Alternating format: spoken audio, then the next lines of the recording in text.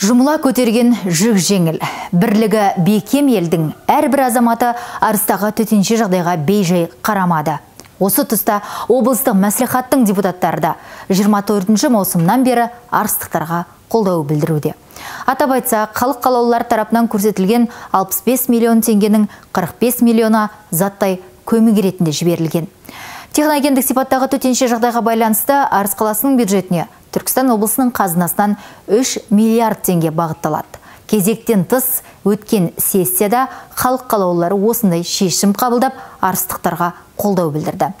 2019-2021 жылдарға арналған облыстық бюджетке өзгерістер енгізу туралы шешімнің жобасын депутаттар бір ауыздан мақұлдады.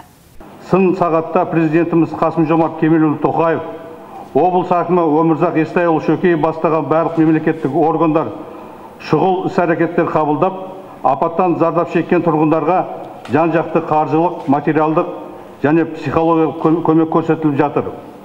Бұл жұмыстардан облыстық мәслихаттың депутаттар корпусы да шетте қалған жоқ. Ағымдағы жылдың бірінші шілдесіндегі жағдай бойынша халық қалаулылары осы төтенше жағдайға байланысты 65 миллионнан астам теңгеге оның ішінде 45 миллион теңге заттай көмек және 20 миллион теңгеге қаржылай көмек көрсетті. Бұл жұмыстар алдағы уақытта да өз жалғасын табатын болады.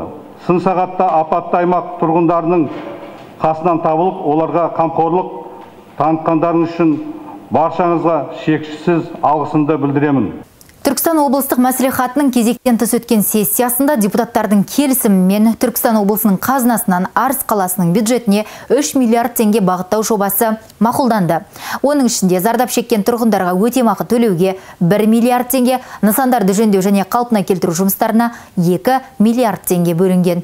Қазақстан Республикасындағы жергілікті мемлекеттік басқару және өзін өзі басқару заңына сәйкес аталған мәселенің қаралуы облыстық мәслихаттың құзырына кіреді. Сондықтан бюджет және экономиканың даму жөніндегі тұрақты комиссиясы шешім жобасына аталған өзгерістерді енгізіп, облыстық мәслихаттың сессиясында қарауына сессиясының қарауына енгізу және оны қабылдауды ұсынады түркістан облысы бюджеттің түзетілген көрсеткіштерін назарларыңызға ұсынамыз. Білім беру функционалдық тобы бойынша шығындар 707 миллион 995 мың теңгеге кеміп отыр.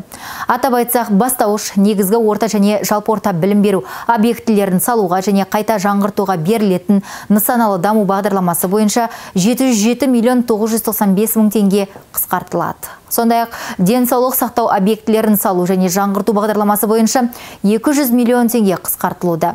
Ал тұрғын үй коммуналдық шаруашылығы функционалдық тобы бойынша шығындар керісінше 544 миллион 87 мың теңгеге ұлғайып отыр.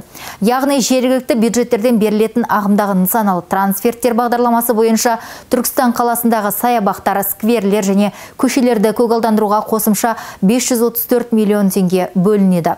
Бұл бағытта сумен жабдықтау және су жүйелерін дамыту бағдарламасы бойынша Арыс қаласының бюджетіне 10 миллион теңге қарастырылған. Автомобиль жолдарының жұмыс істеуін қамтамасыз ету бағдарламасы бойынша облыстық маңызы бар автомобиль жолын күрделі жөндеуге қаралған қаржылардан 1 миллиард 313 миллион теңге қысқартылады ал көлік инфрақұрылымының басым жобаларын іске асыру бағдарламасы бойынша облыстық маңызы бар автомобиль жолын орташа жөндеу жұмыстарына қаралған қаржыдан 523 миллион 92 мың теңгені қысқарту жоспарланған. Осылайша Түркістан облысының 2019-2021 жылдарға арналған бюджетіне енгізілген өзгерістерді депутаттар бір ауыздан мақұлдап, шешім жобасы қабылданды.